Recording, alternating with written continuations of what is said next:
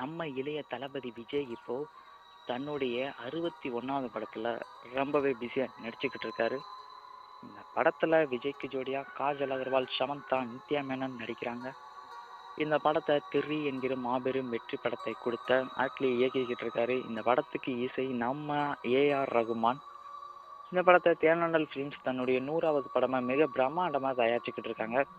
இந்த படத்துடைய ஷூட்டிங் இப்போது ஈசிஆரில் ஆர்ட் டைரக்டர் முத்துராஜ் போட்ட பிரம்மாண்ட செட்டில் நடந்துக்கிட்டு இருக்கு இது மட்டும் இல்லாமல் விஜய் அறுபத்தொன்னாவது படத்தினை பற்றிய அப்டேட்டுகள் தினம் தினம் வருதோ இல்லையோ அடுத்து அவர் முருகதாஸோட இயக்கத்தில் நடிக்க போகிற அறுபத்தி ரெண்டாவது படத்தை பற்றின அப்டேட்டுகள் தினம் தினம் இணையதளத்தில் வெளியாகி ஒரு ஒரு பரபரப்பை ஏற்படுத்திக்கிட்டு இருக்கு தற்போது கிடைச்ச தகவலின்படி இந்த படத்தில் ரெண்டு ஹீரோயின்கள் நடிக்க இருக்கிறாங்களாம்.